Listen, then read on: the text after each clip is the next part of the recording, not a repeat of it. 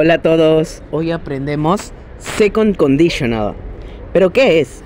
El Second Conditional es la forma de llamar a las oraciones que se formulan hipotéticamente, o sea, son oraciones ficticias. Por ejemplo, cuando decimos, si yo hiciera algo, algo pasaría. Bien, para entenderlo un poco mejor, vayamos con algunos ejemplos solamente en español, por ahora. Si yo tuviera dinero, compraría más ropa. Si yo supiera matemáticas, estudiaría ingeniería si yo cantara bien, sería músico. ¿Ok? Estoy seguro de que a muchos de nosotros nos surgen estas ideas. Se presentan todo el tiempo. Y para hacer este tipo de oraciones en inglés usaremos la siguiente estructura. If, sujeto, el verbo número uno, vamos a llamarle en pasado, coma, sujeto, would, verbo 2, vamos a llamarle en su forma base, o sea, forma que no está conjugada, en su forma normal. La razón por la que usamos al verbo en su forma base aquí en esta segunda mitad es porque tenemos a would, si lo pueden ver. Y el would es un modal. Bien, ¿qué son los modals? Bueno, los modals son verbos que expresan posibilidad, intención, potencialidad, necesidad y muchas otras cosas. Y la regla dice que cuando los usemos, siempre vamos a tener al verbo en su forma base, es decir, la que no está conjugada. ¿Ok? Otros modals, otros modals que existen son can, could, may, should, must, entre muchos otros.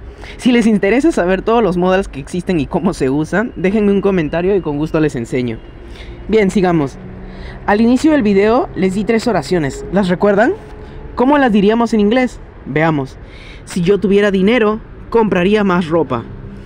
Recordando la estructura, usaríamos if I had money, I would buy more clothes. Por si tienen algunas dudas, el if viene a ser lo que usamos como si en el español. Es su equivalente. If, sí. Had es la forma pasada del verbo have, ¿ok? Que significa tener. Entonces, ¿cómo diríamos si yo supiera matemáticas, estudiaría ingeniería? Tienen 5 segundos para pensar. If I knew mathematics, Perfecto. I would study engineering. New es la forma pasada del verbo know, que significa saber. Y si queremos decir, si yo cantara bien, sería músico, ¿qué diremos? Perfecto. If I sang well, I could be a musician. Sang es la forma pasada del verbo sing, ¿ok?